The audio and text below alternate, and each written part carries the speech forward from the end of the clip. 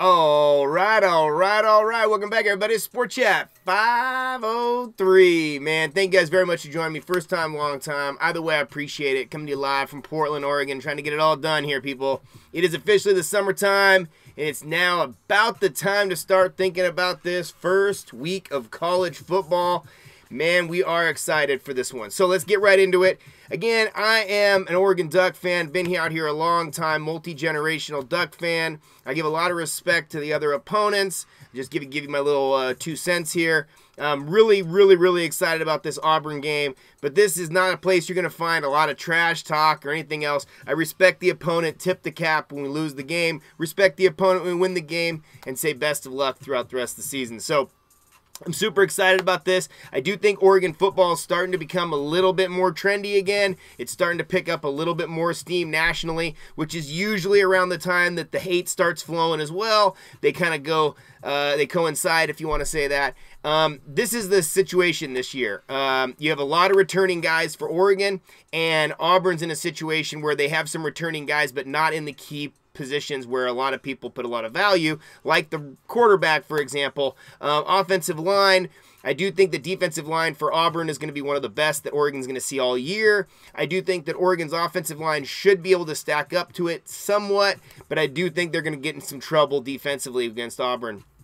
I do think that Oregon's offense, though, is potent enough and possibly might have enough changes with their wash, uh, wide receivers to be able to hang with them, very similar to Washington hanging with them last year. Rewatched the whole Washington game. Obviously, this Auburn team is a lot different than last year, but I rewatched that whole Auburn uh, Washington game to start the year last year.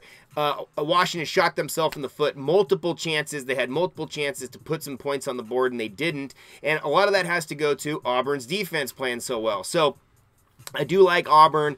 I know that they're in a situation right now. Do they go with Joey Gatewood? Do they go with Bo Nix? I know there's some serious questions there, but you know the ideology for me is is that Oregon's been in that same situation before. One of those guys is going to show up. One of those guys is going to rise to the occasion, or they're going to be forced to be in the situation, and they're going to do good things. They have good receivers to throw to. The receivers look great. I rewatched uh, the whole Auburn spring game, um, as much as the spring footage as, as I could find, and those receivers look real good. So I think Oregon is going to find themselves in some trouble where if Auburn can throw the ball out and extend those plays, but I think Auburn likes to kind of try to run between the tackles or spread you out in the old old school uh, Chip Kelly, uh, Gus Malzahn uh, type of offenses that they run, where they're going to try to spread everybody out just so they can get a one-on-one matchup somewhere. Whether that one-on-one matchup be on the edge with uh, you know the option, or whether it kind of be in the middle with the linebacker, or whether it be with the safety throwing the ball over the middle. So I do think that Auburn's going to be able to get their offense flowing. I think Oregon's defense is going to be fairly good. I think defense is going to come back. I think there's some key players on the defense going to be fun to watch this year. Some new guys coming in. Some of the freshmen that are coming in this year um, are pretty significant. I think Oregon's recruiting class is getting better every year, and a lot of those recruits are coming from the defensive side of the ball. So I do think that Oregon's got a shot defensively to hang with it, but it's going to be interesting. Um, going back into the past and looking at past uh, first games like this, um, I do think that this is a huge shot in the arm, not only for the team team, but also for the conference. This is a game changer. This could be the game for the Pac 12 to keep their hopes alive for that 14 playoff. I don't know if Oregon's going to be that representative or if at the end of the day it could be Stanford or Washington. I do think it's probably coming out of the North. USC's hopefully going to be better than they have been in the past, but it's a guaranteed spot at the table for the SEC. So Auburn losing this game does not hurt the SEC's chances of getting in that 14 playoff, but it definitely does to the Pac 12. Um, Oregon's the only team in the Pac 12 to win a 14 playoff game and get to the national championship, which they did in that first year. And I do think that we're in the hunt to come back for that situation. You have the return of the quarterback, you have some key players that are young, that are the running backs. You've got pretty stacked up in the running back uh, uh, room. You've got three really, really, really good uh, running backs there. Obviously, CJ Verdell is your number one, Travis Dye is your number two, but I think Cyrus Habibi Likio is going to have a great year this year. He ran a lot of balls in last year, got a lot of touchdowns on short yardage situations, but I do think he's going to have a major breakout year this year as well. Injuries aside, I think that you stack up both these teams together, and Auburn has a chance to be able to represent themselves in the West. Obviously, they have to go through Alabama and LSU, and that's a very, very difficult situation. SEC West is the best, and I definitely, definitely have respect for the SEC and what they put out every year.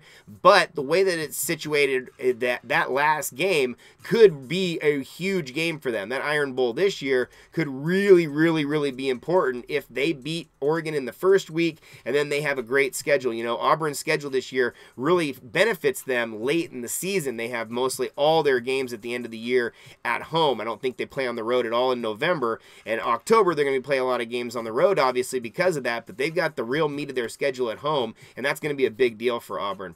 Oregon, on the other hand, we have all our big games on the road this year, and that's going to be very difficult.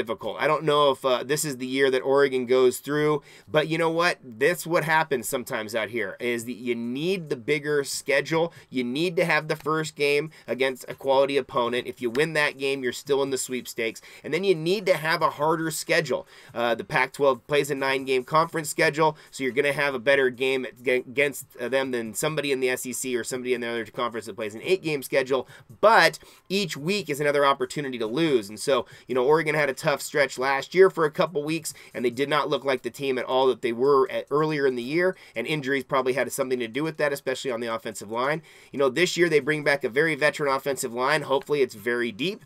They bring back a pretty good defensive line. Hopefully, there's depth there as well. And you're just hoping that obviously the number one guy doesn't get hurt, which is Justin Herbert. And if Herbert can play your whole season and do well in the rest of the season, then you never know.